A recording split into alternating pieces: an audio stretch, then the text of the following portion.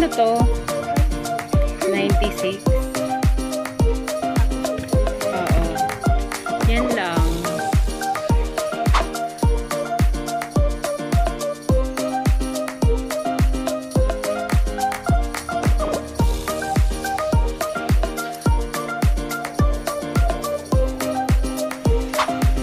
Hello guys! Welcome back sa ating channel. For today's video po ay gagawa tayo ng dulce de leche using one recipe. Tara, umpisa na natin! Tatanggalin lang natin yung ating takip tsaka yung pinakapapel ng ating condensed milk. Hindi po to sponsored ah. Pero kasi yung jersey, malapot kasi siya. Parang concentrated, ganun. Kaya ito yung ginagamit ko. Tapos hindi siya mahal. Mura lang. Compare sa ibang brand. So, yun lang po. Tips lang po yun.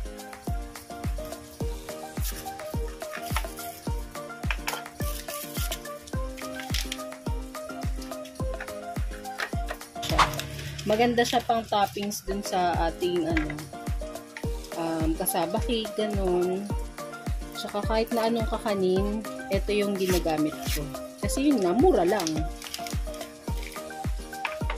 Syempre pag pang negosyo priority natin yung mas mura lang. Kasi syempre may bibigay natin na mura lang sa ating mga customer Tsaka yun nga, kung saan ang mura, dun sila, ba diba? Ganun yun eh. So, yan. Sasalang na po natin ito. Ayan po. Mag-start na tayo magpakulo muna ng water. Pinalakasan ko po yung apoy para mas mabilis po siyang kumulo. Tapos po, tatakpan natin.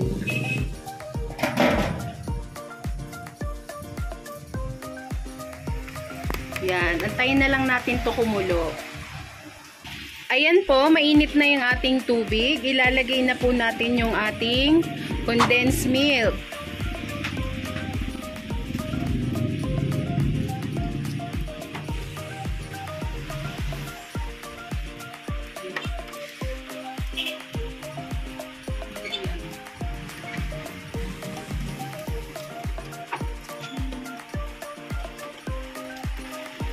So, yan po. Dadagdagan po natin ng tubig kasi kailangan po yung tubig nito ay naka-level dun sa ating lata.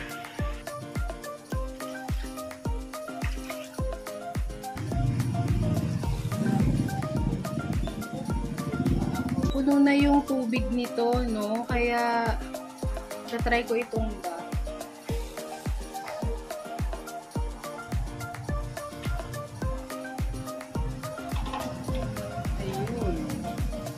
Ayan, kapag nakatumba, medyo lubog siya, no?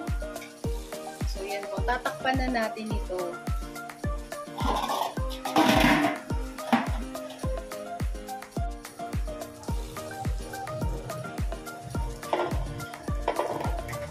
Ayan po, kumukulo na. Mag-start na po tayo ng timer ng 4 hours. So, alas 5 na po ngayon, no? Alas 9 po matatapos ito. Nakasalang po ito sa medium heat. Takpan na po natin.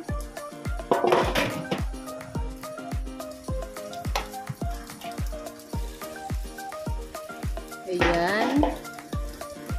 After 1 hour po, tatanggalin na natin yung isang lata, yung maliit lang.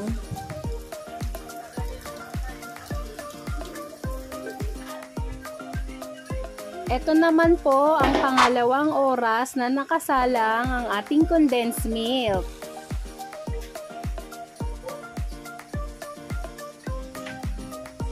Pagdadagdag lang po tayo ng water.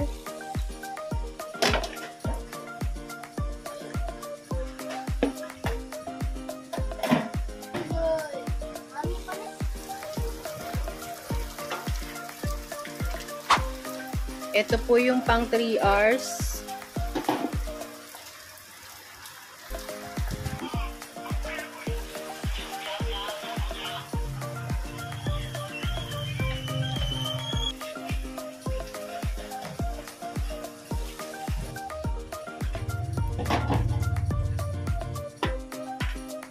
Ayan na yung ating dulce de leche.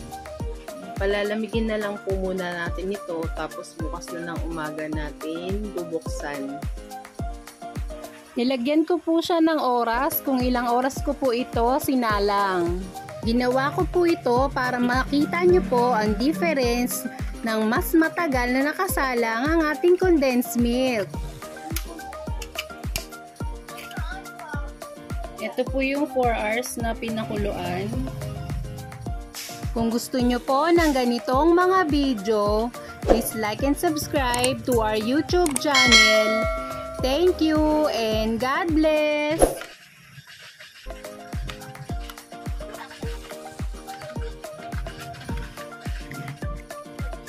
Ito po ang 3 hours.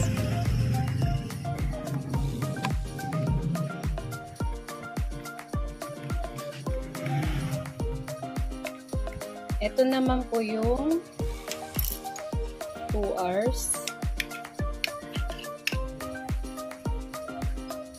na pinakuluan.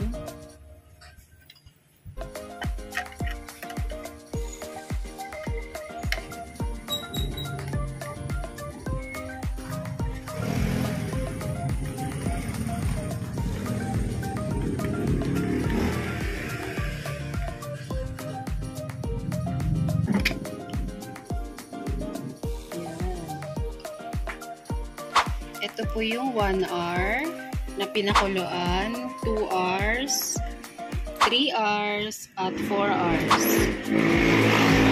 Padark po siya ng padark. Ito po ang ating dulce de leche.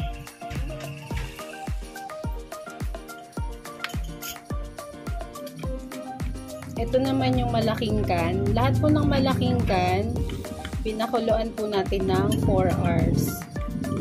Pwede natin itong ilagay sa ating mga kakanin. Like ang ating kutsinta. Pwede rin naman sa cake at palaman sa tinapay. Ayan. Ang ganda ng. Sana po ay may natutunan kayo sa bidyong ito. Maraming salamat! Shout out po kay Maris Vlog at kay MM.